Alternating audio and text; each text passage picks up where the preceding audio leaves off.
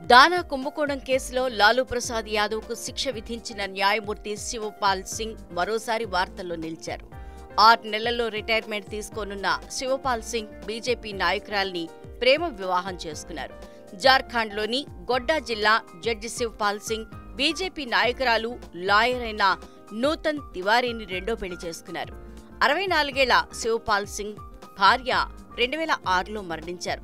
వీరికి ఒక కుమారుడు కుమార్తె సంతానం. ఇక యాభై ఏళ్ళ లాయర్ నూతన్ తివారీ మొదటి భర్త మరణించడంతో జీవిత భాగస్వాములను కోల్పోయిన న్యాయమూర్తి లావాది తమ తదుపరి జీవితాన్ని ఒకరికొకరు పంచుకోవాలని నిర్ణయించుకుని వివాహం చేసుకున్నారు. ఇక ఆర్జేడీ చీఫ్ లాలూ ప్రసాద్ యాదవ్ దానా కుంభకోణం కేసు విచారణ సమయంలో న్యాయమూర్తి శివపాల్ సింగ్ లాలూ మధ్య జరిగిన సంభాషణ అప్పట్లో దేశవ్యాప్తంగా సంచలనం రేపింది. ఈ కేసు సమయంలో శివపాల్ సింగ్ సిబిఐ ప్రత్యేక కోర్టు జడ్జిగా ఉన్నారు.